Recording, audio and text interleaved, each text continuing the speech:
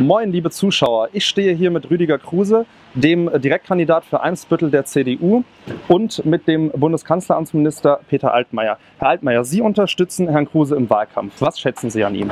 Erstmal moin. Äh, ich schätze an Rüdiger, dass er mit ganz großem Herzen und viel Sachkenntnis dabei ist. Er hat sich in acht Jahren im Haushaltsausschuss eine ganz starke Stellung erkämpft. Das hat zur Folge, dass er viel für Hamburg tut. Aber seine Hauptwirksamkeit ist in der Bundespolitik, wo er dafür sorgt, dass wir die Schuldengrenze einhalten, wo er dafür sorgt, dass wir Gelder auch zur Verfügung stellen für sozial Schwächere, für Nachhaltigkeit, für Umwelt- und Klimaschutz. Das ist eine ganz, ganz große Unterstützung und Hilfe. Und deshalb wünsche ich mir, dass er mit dem Vertrauen seiner Bürgerinnen und Bürger ausgestattet wieder im nächsten Bundestag ist. Herr Kruse, großes Lob. Sie dürfen es gleich zurückgeben. Was schätzen Sie an Herr Altmaier? Besonders schätze ich, dass er immer ein offenes Ohr hat für diese Langfristthemen. Es ist ja immer kurzfristig, gibt es eine Krise, aber Nachhaltigkeit ist ein Thema, was über Jahre geht.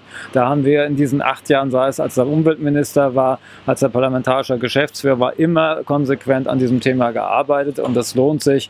Und wir haben wirklich in diesen Jahren Erhebliches erreicht. Mhm. Herr Altmaier, waren Sie vorher schon mal im Bezirk Eimsbüttel? Ich war ganz oft in Hamburg und manchmal weiß ich gar nicht, in welchen Bezirken ich dann überhaupt bin, weil ich äh, äh, nur die äh, Einladung zum Restaurant oder zum Tagungsort habe. Äh, ich glaube, es war jedenfalls der erste offizielle Besuch hier und ich war sehr beeindruckt, weil trotz des Hamburger Wetters ganz, ganz viele Menschen da waren. Sie haben gewartet, bis wir kamen. Wir waren verspätet, weil der Termin davor ein bisschen, bisschen länger war. Äh, das ist hier eine sehr sympathische Gegend und äh, ich werde sicherlich nochmal wiederkommen. Das ist schön zu hören. Äh, Sie gelten ja auch als sehr enger Vertrauter von Kanzlerin Angela Merkel, die jetzt ja schon zum vierten Mal kandidiert. Kann sie noch nicht so richtig loslassen oder ähm, gibt es einfach keinen geeigneten Nachfolger in der Partei? Ich glaube, dass äh, Angela Merkel vor allen Dingen auch deshalb wieder als Bundeskanzlerin zur Wahl steht, weil die Menschen in Deutschland möchten, dass sie weiterhin Verantwortung für unser Land übernimmt. Äh, Angela Merkel hat Deutschland in den letzten zwölf Jahren äh, auf einen guten Kurs gebracht. Wir haben in fast allen Bereichen Fortschritte erzielt nirgendwo Rückschritte. Es geht vielen Menschen heute besser als vor zwölf Jahren. Die Arbeitslosigkeit ist halbiert. Und deshalb möchten die Menschen, dass diese Bundeskanzlerin weiterhin für Deutschland da ist und Verantwortung trägt. Ich erlebe sie sehr energiegeladen. Ich erlebe sie äh, mit, mit Elan und mit Tatkraft. Und ich glaube, dass ihre Wiederwahl eine gute Wahl ist für unser Land insgesamt. Mhm. Herr Kruse, Sie haben ja auch gesagt, dass Sie für die nächste Legislaturperiode noch viele Aufgaben sehen. Was steht denn konkret an? Also das, was wir uns erreicht haben, wollen wir natürlich fortsetzen. Was ist das? Wir haben zum Beispiel den Kulturetat in diesem Land. In vier Jahren haben wir 1,8 Milliarden mehr ausgegeben. Der Grundetat sind nur 1,6. Das heißt, das ist überall wirksam gewesen und das ist ein Bereich, der den Menschen die Lebensqualität erhöht. Das soll fortgesetzt und ausgebaut werden. Es müssen mehr Menschen die Möglichkeit haben, unsere Kultur zu schätzen und zu erfahren. Äh, das gilt für dazugekommen, das gilt aber auch für alle von uns, weil viel zu wenige das nutzen können bisher. Wir wollen vorankommen im Bereich der, der Nachhaltigkeit und da ist zum Beispiel Eimsbüttel, das ist so eine Werkstatt und Labor, weil wir sehr typisch sind für eine Großstadt. Und hier kann man mit Bundeshilfe zum Beispiel emissionsfreien Nahverkehr schaffen, bessere Vernetzung der Systeme und die Digitalisierung nutzen. Das sind die Themen, die ich voranbringen will. Und ich denke mal, da ist in vier Jahren viel zu tun.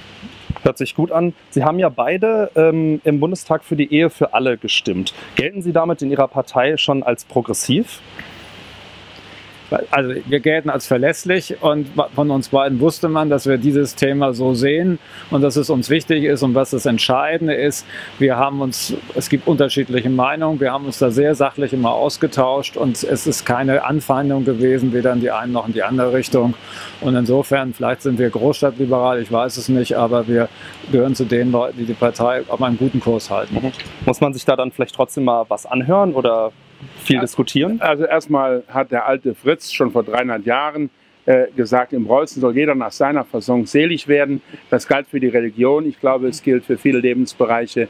Die Frage, ob jemand ein guter oder ein schlechter Mensch ist, hängt nicht damit äh, zusammen, wie seine sexuelle Orientierung aussieht.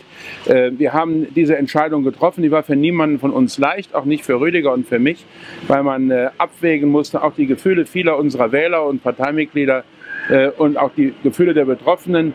Aber ich habe festgestellt in all meinen äh, Veranstaltungen quer durch Deutschland, es ist fast nirgendwo ein Thema, Ich habe mir eigentlich kaum was anhören müssen, weil ich glaube, dass die Menschen heute ein Stück weiter sind und dass sie diese Entscheidung des Gesetzgebers akzeptieren. Mhm. Äh, Herr Altmaier, Sie sind ja auch intensiver, äh, intensiver Twitter-Nutzer. Wie bewerten Sie denn die Rolle der sozialen Medien im Wahlkampf? Die Rolle der sozialen Medien im Wahlkampf äh, ist ganz sicherlich nicht so stark wie in den USA oder in einigen anderen Ländern. Trotzdem sind diese sozialen Medien wichtig, weil vor allen Dingen junge Menschen sich darüber austauschen auf Facebook, auf Twitter und weil wir auch Menschen erreichen müssen, die keine Zeitungen lesen, die nicht die Nachrichten im Fernsehen äh, schauen äh, oder Radio hören. Äh, denn unser Interesse muss es doch sein, dass die großen politischen Fragen allen Menschen nahegebracht werden, dass sie darüber diskutieren können. Und ich lerne aus Twitter eben auch, wie andere Menschen denken. Das, was anderswo diskutiert wird, kann man dort nachvollziehen. Deshalb ist es eine Ergänzung, aber der eigentliche Wahlkampf findet statt im persönlichen Kontakt mit Menschen, so wie hier jetzt eben bei der heutigen Diskussion. Aber befördert äh, der, möglicherweise der Wahlkampf im Netz auch Populismus? Ähm, ich stelle fest, dass äh, die größten Populisten, nämlich die von der AfD und die von der Linkspartei, gar nicht so sehr gut auf Twitter unterwegs sind. Die kriegen ihre Botschaften über die klassischen Medien unter die Leute. Man kann auf 140 Zeichen, die man auf Twitter hat, auch sehr vernünftig und sehr sachlich argumentieren. Das hat Rüdiger gezeigt, das äh, nehme ich für mich in Anspruch.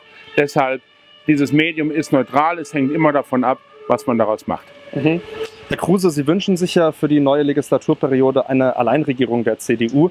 Ähm, wie stehen Sie denn zu den politischen Ansichten der CSU?